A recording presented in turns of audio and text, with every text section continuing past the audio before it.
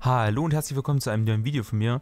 Und zwar möchte ich heute ein Video darüber machen, wie ich durch Haikyuu zu Volleyball gekommen bin. Ja, starten wir rein. Ähm, den letzten Anime, den ich geschaut habe vor Haikyuu, war My Hero Academia. Da habe ich die dritte Staffel ähm, zuletzt geguckt. Danach habe ich mit meiner Freundin zusammen auf Netflix dann halt Haikyuu angefangen.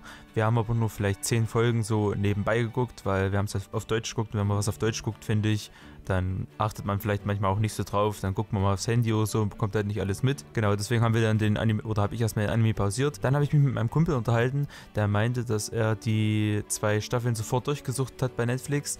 Und daraufhin habe ich dann ein paar Tage später die erste Staffel auch von alleine, also allein geguckt und von vorne angefangen. Und ich glaube, die erste und zweite Staffel habe ich in zwei Tagen geschaut und die dritte Staffel habe ich dann am dritten Tag geschaut. Das waren nur die äh, zehn Folgen auf Akanim. Danach war der Hype schon so riesig, darauf habe ich mir erstmal einen Volleyball bestellt. Wird wahrscheinlich jeder von euch relaten können. Genau, es war einfach nur so ein Standard-Trainingsball, den jeder aus der Schule kennt. Und aktuell habe ich drei Trainingsbälle und einen originalen Matchball, der genauso aussieht wie der von Haikyuu.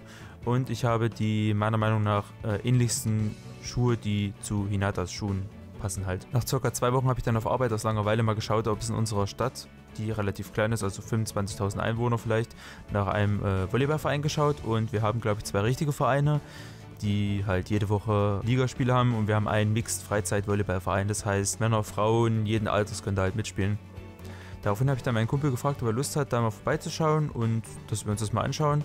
Im Vorhinein muss ich sagen, ich dachte, so schwer kann das ja auch nicht sein. Zuspiel ist bestimmt mega easy und Aufschläge von unten habe ich in der Schule immer richtig gut hinbekommen und gepunktet. Ja, das wird schon nicht so schwer sein, aber es war das komplette Gegenteil. Wo man auch nochmal sagen muss, dass Schulvolleyball im Nachhinein einfach nur wack ist. Also ich bin ja in der Ausbildung gerade, da haben wir in der Berufsschule auch ähm, Sport ist ja klar. Und haben da auch Volleyball gespielt und im Nachhinein, also wenn ich jetzt das Volleyball, was wir da gespielt haben und das Schulvolleyball vergleiche, sind das zwei komplett unterschiedliche Welten. Genau, unser Zuspiel war dann äh, schon mega, mega mies schlecht beim Volleyball, also, im also bei dem Mixed Freizeit Volleyballverein und vor allem unsere Annahmen waren das natürlich auch. Meine Arme taten dann bestimmt noch eine Woche lang weh und hatten blaue Flecken, aber es hat echt Spaß gemacht. Und das lief halt dort so ab. Wir haben eine halbe Stunde trainiert und dann zwei Stunden gespielt sozusagen das, was sich eigentlich jeder in seiner Sportart wünscht. Also wenn es um Spielen geht, wie Fußball, Volleyball, Basketball, das wünscht sich eigentlich jeder. Einer der krassesten Feelings war dann beim ersten Training, beim letzten Spiel, war ich dann am Ende ähm, Mittelblocker halt, auf der Mittelblocker-Position vorne und hatte meinen ersten ähm, Angriff abgeblockt. Das war irgendwie, ich weiß nicht warum, also das war halt im ersten Spiel, da hat man halt das gemacht, was man halt aus Haikyuu gesehen hat. Und ich bin dann einfach hochgesprungen und habe äh, ja, versucht zu blocken und es hat geklappt. Und dann hat mich mein Team irgendwie so gefeiert und mein Kumpel meint dann auch zu mir, ähm, dass der Block richtig, richtig krass war. Und ja, da hat man sich schon gefühlt wie äh, Tsuki gegen Ushiwaka. Was auch noch lustig war am ersten Tag, wir kamen dort zur Sporthalle und dann kam äh, der Zuständige halt für den Verein auf uns zu und fragte, wie wir zu Volleyball gekommen sind. Und ich und mein Kumpel haben uns dann nur angeguckt und sagten beide, ja, Schulsport und Fernsehen. Also wir haben jetzt nicht gesagt, dass wir das von Haikyuu kennen, weil der war halt schon ein bisschen älter und es wäre, glaube ich, komisch gewesen, dann halt dem zu erzählen, dass wir da hinkommen wegen dem Anime. Um noch dazu zu sagen, wir hatten einmal in der Woche zweieinhalb Stunden Volleyball, also immer donnerstags, gelaubt von, ich weiß gar nicht mehr die Trainingszeiten, aber auf jeden Fall zweieinhalb Stunden so circa.